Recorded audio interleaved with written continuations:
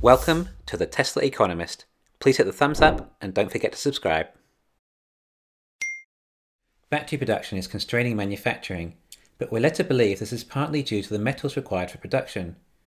On Battery Day, we were told that there was actually plenty of lithium, despite what most people were assuming previously. In fact, enough lithium just in Nevada to supply the entire US auto fleet, and that's just the lithium they know about without trying. As a relief as this was, it turned out that nickel is actually what's in shortage. So we are now led to believe that the supply of nickel is what is holding back the production of batteries, aside from there simply not being enough battery factories. It was inferred by most, including myself, that nickel is important for the progress of battery production, and Tesla can't fulfill their objectives until that is sorted, i.e., selling 20 million cars a year and creating enough energy storage. You see, Tesla have designed this amazing new tabless battery, the 4680, that is more energy dense, lower cost, and has a high cycle life with an assumed 1 million mile distance until degradation, while still having the ability to charge at a reasonable rate, have a lower cost per kilowatt hour, and a higher kilowatt hour per kg, the Miracle battery. Well, the part of the battery that uses the nickel is the cathode, and on battery day, we actually saw Tesla mention three different types of cathode, as in there will be three different versions of the 4680 batteries. And the first one is actually iron, which requires no expensive, scarce nickel. But this wasn't really made out to be a big deal. The most energy dense cathode was the nickel cathode, which will be used for the likes of the semi truck, roadster, Cybertruck, and likely the Model S Plaid Plus. And there is also a nickel and manganese cathode, which is two thirds nickel and one third manganese, allowing the nickel supply to reach 50% more production, with cost savings and not very much difference in power density. Due to Tesla's efficient drivetrain, for the Made in China Model 3, Tesla have actually been using CATL's lithium iron phosphate batteries, or LFP, which stands for LiFePO. In other words, the iron is F because of the chemical symbol for iron is Fe. The batteries are already using an iron cathode, and they have significantly reduced the cost of the car, as the LFP batteries cost about half as much as the 2170 batteries. Recently, Tesla have also started using the LFP batteries in their standard range Model 3 in Fremont now too. Again, this will significantly increase their profit margins and reduce the cost of batteries. Apparently, one issue of LFP is the range drops significantly in colder weather, but it would appear the solution to this has been to heat the batteries to 60 degrees Celsius. Not only is iron a very abundant cheap resource, in addition to that, the iron cathodes have a very high life cycle. In other words, they can be charged a lot of times before it starts to hit battery degradation. But at the cell level, it only gets half as many kilowatt hours per kg compared to a nickel cathode. However, when you take it to the pack level, nickel only becomes about 50% more powerful than iron, which makes it good for stationary storage and medium range applications, where energy density is not paramount. Tesla are building battery factories in Berlin and Texas currently. These factories are obviously going to be for the 4680 battery cells, I mean, why would they build them for the 2170s and then swap over the production line later? They are also going to be built in unison with the car factories, implying the batteries will be used in the new car production lines in Berlin and Texas. I would say from the start, as it would create too many inefficiencies to change over later. It is also announced they'll be using cell to vehicle integration too, or structural battery pack if you will. It sounded like on the earnings call, Tesla had worked out their battery kinks they had mentioned on Battery Day and are now ready to scale up. They just needed to achieve this before these new battery factories were built. This is further evident by Panasonic announcing they're rebuilding 4680 batteries in Giga, Nevada. As Tesla want as many of these batteries as possible, it sounds like they are also helping LG and CATL produce them too, as these companies are also extremely competent in making batteries, and Tesla wants as many batteries as they can get. So, in these factories, they could likely be building all three types of batteries most likely on different lines, i.e., a line for iron cathodes, a line for nickel cathodes, and another line for nickel and manganese. So, although we are hearing about delays for the Cybertruck, semi-truck, and Roadster, this may very well be due to the lack of nickel, and not delays of the 4680 batteries. But it's the LFP batteries that could really make a difference.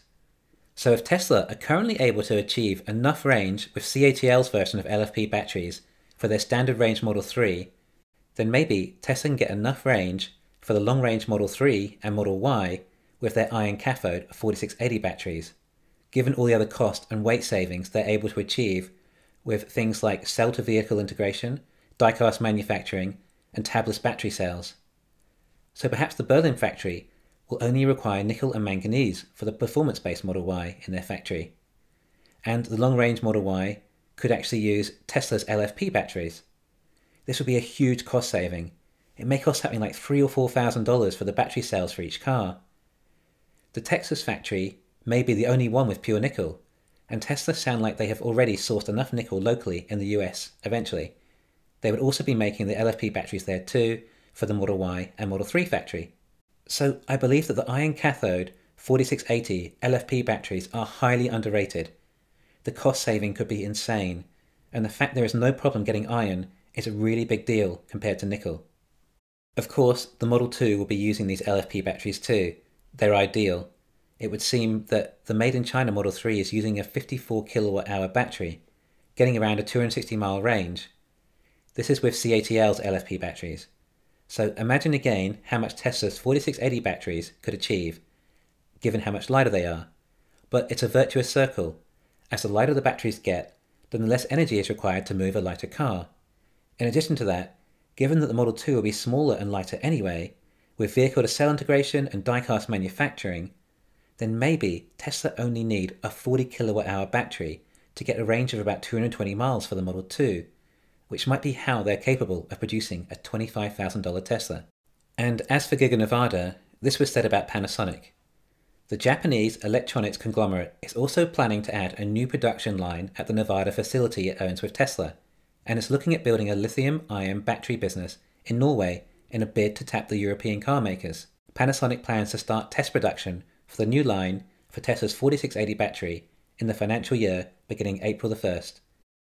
So Panasonic are starting 4680 production as early as April, and it will be a new production line. According to Elon's tweet, Fremont and Shanghai will not transition over to 4680s for another two years or so, implying that these 4680 batteries are not earmarked for any car, assuming that Texas Battery Factory makes enough batteries in-house for the cars manufactured on site assuming that Tesla's 4680 pilot plant at Kato Road in Fremont make enough batteries for Model S Plaid Plus, which is more than likely, the rest of the S and X models appear to still be using the old 18650 batteries. Therefore, these Panasonic batteries will likely be the iron cathode based 4680s and quite possibly be used for energy storage. LG and CATL sound like they are likely to start producing 4680s too. Tesla is their biggest customer, so it makes sense to deliver them a more profitable product. And when Fremont is able to transition to 4680 batteries, then there's enough space in the Nevada Gigafactory to make far more batteries than their car consumption can utilize, as the 4680 batteries take one eighth the same area to manufacture, which might finally mean that Tesla get the energy business off the ground. They can produce enormous amount of these 4680 LFP batteries that can then be deployed for battery storage. Even their battery storage in South Australia was massively profitable. It would be an even bigger moneymaker with the 4680s. However, they also have LG and CATL, which might make enough batteries to further supplement their energy business again. So I expect this side of the business to really start taking off, perhaps towards the end of the year. The Powerwall would have to use manganese with nickel cathodes, as they already weigh about 100 kilograms. If it went to iron, then it would be almost twice the weight, which is going to be too heavy for residential applications. They also have a higher margin on Powerwalls, and it's a much smaller market than commercial use, so Tesla can justify using nickel in the Powerwalls. It sounds like Tesla have secured their own nickel supply now, though, from New Caledonia. They were in talks with Indonesia, but Indonesia weren't interested in simply supplying nickel. They wanted battery manufacturing there too, which may not work so well with Tesla's supply chain process. Tesla really just want to start with the raw materials and create everything from there.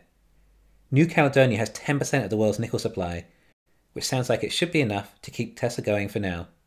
So perhaps this is partly responsible for the delays in Texas, although on Battery Day, Elon did say he'd spoken to all the biggest nickel mining CEOs and they had agreed to mine more nickel for him too.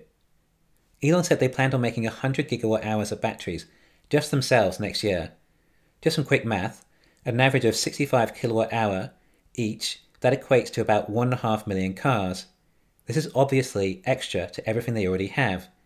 If they do 1 million cars this year, then that means they would have enough batteries for 2.5 million cars next year. Of course, as I keep saying, they have Panasonic, LG, and CATL increasing their supply too, so I don't think Tesla will be battery constrained next year.